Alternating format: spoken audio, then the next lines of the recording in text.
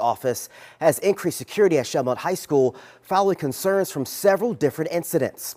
On Wednesday, several teams, some who were students, were involved in an off-campus fight where a gun was fired. A 17-year-old was arrested and five other teens were issued court summons on this incident. Now this morning, parents contacted WDSU regarding social media threats at the high school. Then hours later, school leaders addressed reports of a gun on campus saying it was just a teacher with a prop for a school play. Now this all comes as parents have voiced concerns about increased fighting at the school. All incidents remain under investigation.